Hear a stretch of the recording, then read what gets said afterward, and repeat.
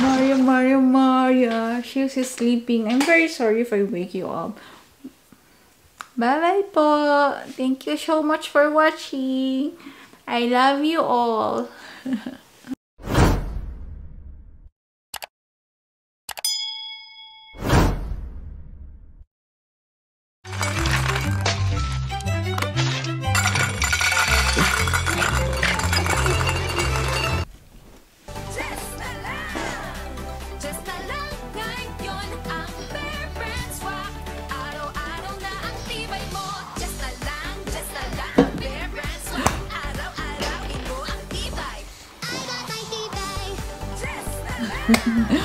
Just na lang. Napakamura, di ba? Kung pinapanood mo ito ngayon, siguro nasubukan mo ng painumin ng Bear Brand ang iyong alagang aso. Well, ang i-discuss po natin ngayon ay tungkol sa pagpapainom ng milk, specifically Bear Brand sa ating alaga. Please don't get me wrong ha. I love Bear Brand. Um, iniinom ko po siya nung bata pa ako at saka nung college ako. Ngayon lang hindi ko mainam dahil walang Bear Brand dito. Napaka, napakamura, affordable, mas, masarap ang lasa, and napaka-nutritious niya, di ba? So, talaga namang nire-recommend ko siya para sa mga, ah, sa atin, no? Pero, pero hindi sa pet. Yun yung pag-uusapan natin ngayong araw na to. Pero bago po yun, lilinawin ko lang, ang video na ito ay hindi po sponsored. Pero kung may nanonood ng taga Bear Brand, namin. okay, but before we start, I would like to introduce myself. I am Dr. MJ. MJ for short.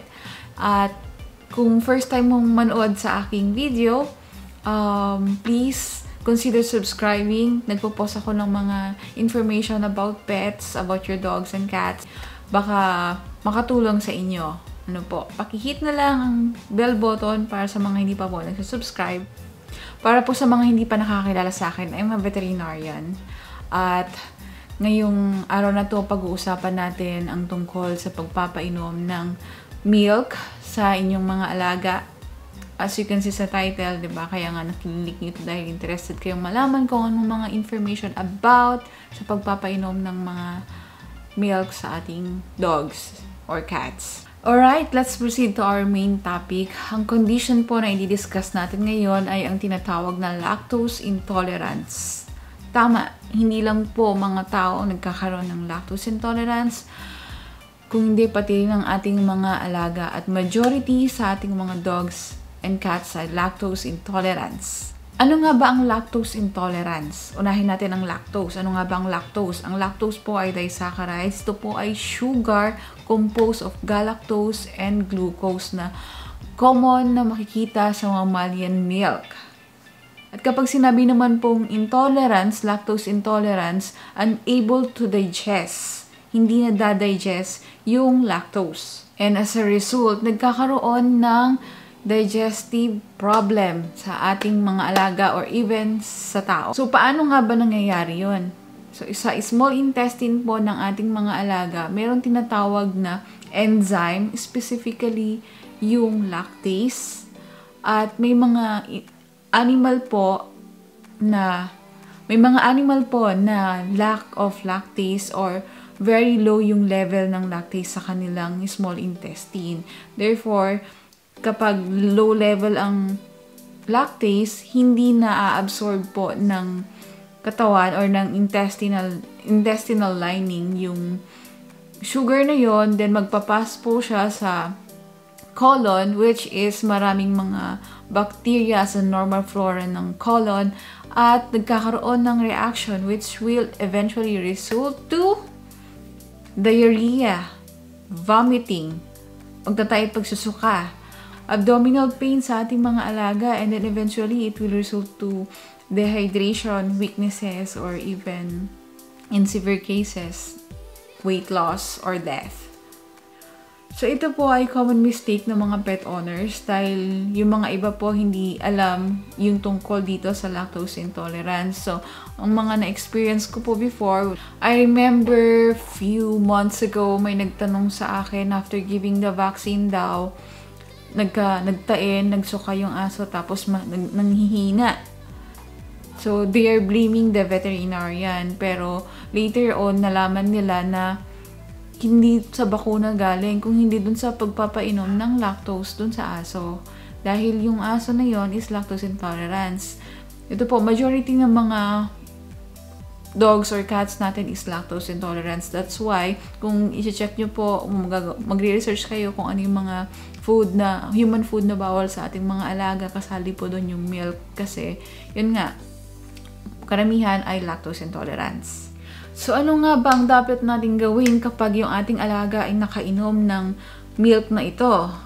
Well, depende po yan kung sa amount ng milk na nainom at kung ano yung senyales na na-develop. Kasi merong mga cases na hindi naman nagkakaroon ng problema kahit na makainom yung mga alaga natin. Meaning, meron silang enough na lactase sa kanilang katawan. Possible yon. So, in the event na frequent na yung diarrhea, madalas na po yung pagtatae, tapos nanghihina na yung dog, ayaw kumain, yun na po yung time na kailangan yung dalhin ang inyong dog sa veterinarian to prevent the dehydration at mapigilan din yung pagsusuka dahil nagkakos siya ng weaknesses. Doc, an eh, anong milk po yung papainom ko sa dog ko kung hindi po pwede ito? Well, uh, kung ako po yung tatanungin ninyo, I highly recommend yung milk na ideal or formulated talaga for dogs. Kasi mas maganda po na yun talaga yung ibibigay natin dahil para ma-prevent yung mga problema. Pero in some cases, pwede naman tayo magbigay ng human milk pero you have to check yung mga lactose free or makikita nyo po sa label doon na lactose free. Or pwede rin naman non-lactose yung nakalagay. In some cases, yung mga soy milk o kaya yung almond milk, that is also safe to give to our dogs pero in moderate amount lang, hindi rin yung sobra-sobra. At syempre kasi minsan, wag lang yung mga nag, nadagdagan ng wag lang yung mga may mga food ad- wag lang yung mga may food additives no yung mga sweetenings kasi yun yung actually yung nagka-cause ng problem sa ating mga pets. Oh, ayan po. Sana po may mga natutunan kayo sa ating topic na diniscuss ngayong araw na to. Dahil sa amount ni Jess na lang, baka mas mapamahal pa po ang gastos kapag hindi nyo alam ang inyong ginagawa. okay, thank you very much po for watching and kung may mga tanong po kayo, feel free to comment. Nagre-reply po ako doon. In some cases nga lang medyo natatagalan pero nagre-reply pa rin po ako. At sa mga hindi ko pa nare-replyan hanggang ngayon, um, I'm very sorry for that. May mga pinagkakabalan din ako at sinusubukan ko lang isingit ang pagbablog ngayon. Alam niyo naman, nag-aaral tayo kaya I'm very sorry kung hindi po ako nakakapag-reply. Sana po naintindihan ninyo. Kaya I'm trying my best to make a video na lang para mas nakikita or na, nakikita ng mga, ma- para mas nakikita at napapanood ng mga kararami. Pero wait, wait, wait, wait. Bago mo exit tong video na to, hindi mo pa nahihit yung subscribe button mo. Thank you so much. I love you. Ang arte. Okay, thank you very much po. At ito si Maria. Papakita ko ulit si Maria.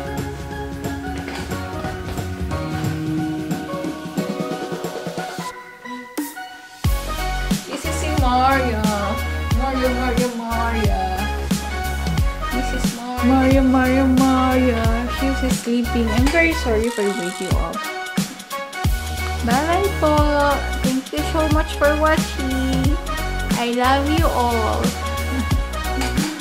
Chum.